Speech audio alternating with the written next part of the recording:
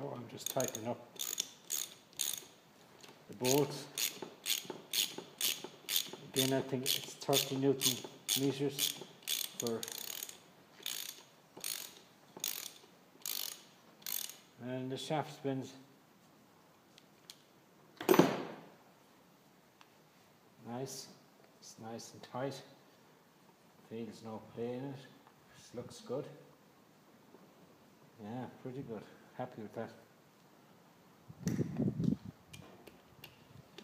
Okay so it's just a matter of tightening these all up to 30 newton meters newton, newton me- meters.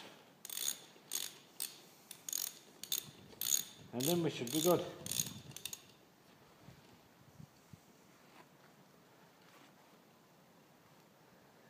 So, next thing would be to put in the uh, pistons.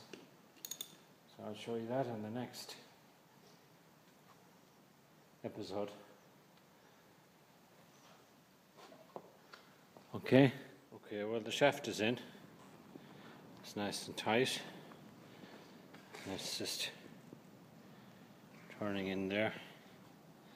So now the next thing is to put on uh, to put the rings on the pistons and put the pistons uh, in. Okay.